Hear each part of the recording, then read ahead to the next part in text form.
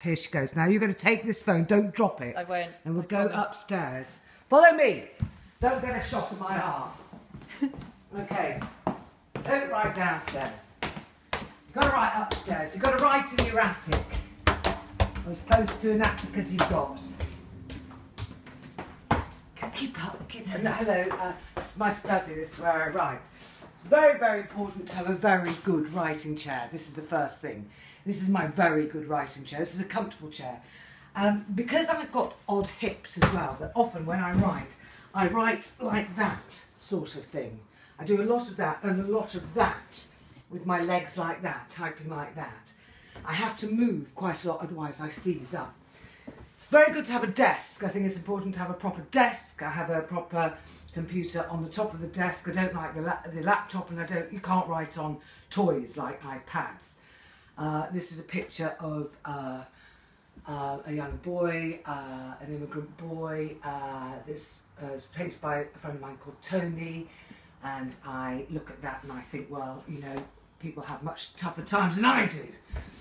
Um, on my home screen, if I this is all the files for um, the last novel that I wrote, Moving, which comes out on July the twenty third. Moving, it's called, and um, this is, and that's the uh, that's the cover. There you go.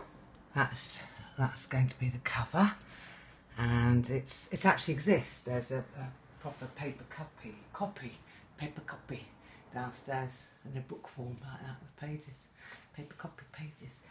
And uh, but when I'm writing other stuff, this is don't look too close up. But behind all these things is an empty theatre, and it's a picture of I, over a thousand empty seats in a theatre in Sydney, in Australia, and it's basically uh, to goad me into writing stand up. and sort of pretend that these people might be sitting in these seats waiting. Obviously, I don't get a thousand people in, you know, most of it's room, well, the pub is about 12. But um, at the moment, I'm writing a new show which is called How to Be a Middle Aged Woman. I don't know whether you can see the. Um, that's the that's a rough of the uh, of the poster, uh, which has had sort of some peculiar comments. Um, and at the moment, I'm writing a um, a TV review for the Sunday Mirror because TV Kev is away on his holidays, and sometimes I sit in for him. Um, I don't have a lot of distraction in the room. Uh, these are new computer glasses, but I don't understand them and they don't work. Uh, if I put these on, I have to, I have to sort of. I I don't, I don't quite understand where I'm meant to sit. Oh, actually, they're working, but no, the left eye, I don't like it. It's confusing. Um, these have got blended vision. Um, so yes, I, it's quite tidy. Uh, I don't have a lot on my desk. I don't like it when it gets really um, untidy. It's probably the ugliest room in the house. Uh, I have a picture of my partner and me and my daughter when we were on holiday once, a very, very long time ago, probably about nearly 20 years ago. And um, but I don't, I don't keep much stuff in here because uh, I've got to keep my head quite clear. I think I've sort of worn myself out now. Um, these are some old files, but of course nowadays, because everything's on the computer, and I back things up and I have the cloud and I do all that because it's really, really important. Um, it's you don't have quite as much stuff as I used to. There's a filing cabinet behind. and I used to keep scripts in that.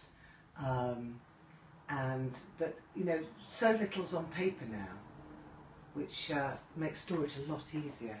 But uh, occasionally I find we've done enough. We've done enough. What's you, Rachel's trying to say? Say it out loud. What is it, Rachel?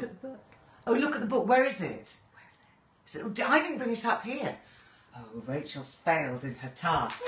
I don't know what I did with the book. We're going to stop now. Um, well, it looks like what I showed you on the screen. Shine it down. What's it about? oh, what's the book about? Of course. God, I'm an idiot. Okay, this book is called Moving, and um, it is about uh, a woman who's lived in a house for 50 years. She's decided the house is defeating her. She gets an estate agent round. As they go from room to room, the story of the past 50 years is told as we travel around the house.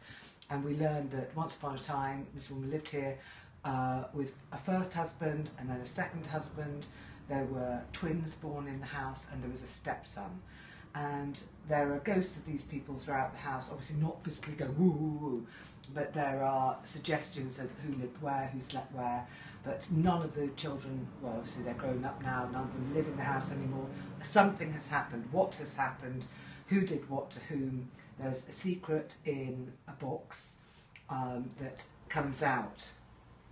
And then we go to the middle of the book, which is uh, narrated by someone else, and that's a sort of that's set in Manchester in the 1980s, and that sort of ties itself up. And then finally, we have the story retold by the stepson, and you see all angles and all sides, and you understand why um, why there's an empty bedroom in the house where um, so somebody was no longer welcome, and we understand why a stepson did what he did and why a mother did what she did and why all sorts of things. It's basically it's about loyalties and love and blood. It's about blood, the tide of blood and how blood is very strong and it pulls. It does, it pulls like the tide.